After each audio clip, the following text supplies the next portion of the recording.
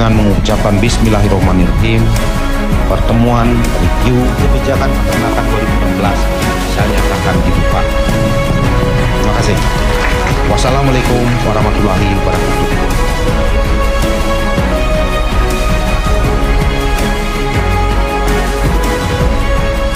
Saya merasa mendapat kehormatan dapat hadir pada forum diskusi yang sangat uh, mulia ini karena dihadiri oleh uh, yang terhormat Bapak Ketua DPR Komisi 4 Pak Herman kemudian dari seluruh stakeholder yang benar-benar bersepakat untuk membangun bagaimana peternakan kita ke depan atau kondisi pertanian kita ke depan lebih baik.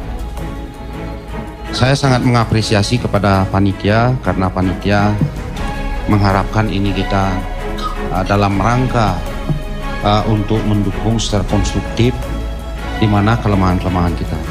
Assalamualaikum warahmatullahi wabarakatuh. Selamat siang dan salam sejahtera untuk kita semua.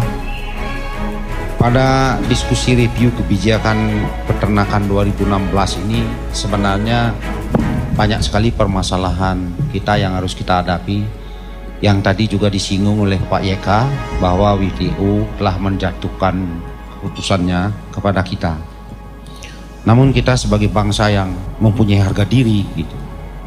Kita harus senantiasa memperbaiki diri bagaimana menjawab tantangan itu karena kita sudah bersepakat untuk meratifikasi eh, peraturan-peraturan uh, yang ada di WTO itu. Sehingga dengan demikian ke depan saya berharap uh, kita bersama-sama melakukan perubahan yang ke arah lebih baik. Terkait dengan WTO ini kita berupaya untuk banding. Pak Menteri tadi sudah memberikan saya arahan untuk itu karena beliau masih koordinasi dengan Kementerian Perdagangan. Saya banyak sekali mendapatkan uh, kritik, kemudian pujian, lalu cacian gitu sebagai seorang pelayan saya siap untuk itu karena itu konsumsi saya mau menjabat sebagai dirjen ternakan ketika saya jadi petani di kampung saya tidak akan pernah ada yang mengkritik jadi kita berkumpul ini sebenarnya uh, semua bersepakat bagaimana dignity bangsa ini dijaga jumlah penduduk kita sekarang ini sekitar 255 juta 20 tahun lagi penduduk kita akan terus meningkat. Tentu dengan itu kebutuhan pangan kita akan juga terus meningkat. Nah dengan meningkatnya ini kita juga melakukan upaya-upaya yang strategis step by step untuk menjawab kebutuhan pangan kita termasuk pangan dunia. Kemudian jumlah rumah tangga usaha pertanian menurun dari 31 juta 332 184 rumah tangga menjadi 26 135 rumah tangga. Kondisi ini tentunya menimbulkan pertanyaan tentang bagaimana masa depan ketahanan pangan kita.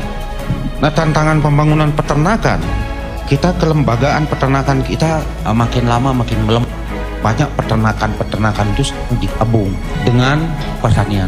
Sehingga dengan demikian saya sudah memikirkan bagaimana ketika terjadi outbreak penyakit. Bagaimana kita mendukung percepatan populasi Kemudian belum terselenggaranya dukungan dari instansi terkait serta belum optimalnya peran pemerintah kabupaten kota dalam membina tata niaga daging. Kemudian bagaimana sebenarnya kita mengatasi uh, terkait dengan postmortem, antemortem terhadap uh, perlakuan uh, binatang. Terkait juga terhadap animal welfare. Kemudian yang menjadi perhatian saya itu adalah masalah supply chain gitu, belum memenuhi standar terhadap outbreak penyakit. Ketika ke sebuah integrator yang demikian hebat, misalnya tadi itu dilaporkan terjadi outbreak penyakit, bagaimana produk unggas kita bisa diterima di luar negeri? Karena dari handling penyakit saja kita tidak bisa melakukan dengan baik. Dan saya berharap terbuka memberikan data, karena bukan untuk punishment, tetapi untuk bagaimana kita memperbaiki. Nah terus tentang investasi peternakan, kebijakan pemerintah apa? Realisasi PMDN kita peternakan 2016 hingga September itu sebanyak 408 miliar, meningkat 25 persen dibanding tahun 2015. Masih terpusat di Pulau Jawa. Realisasi PMA 2016 itu sampai saat ini sebesar 39,03 juta US dollar atau sekitar 52% dari realisasi tahun 2015. Nah program kita yang yang sekarang yang kita tonjolkan dalam rangka menguatkan populasi itu adalah program Upsusiwa. Berpikirnya itu begini, petani kita di lapangan itu mempunyai ternak 2-3 ekor. Mereka tidak peduli berapa peningkatan jumlah yang mereka dapatkan. Kita perlu melakukan intervensi terhadap hal itu. Wajibkan bunting sapinya.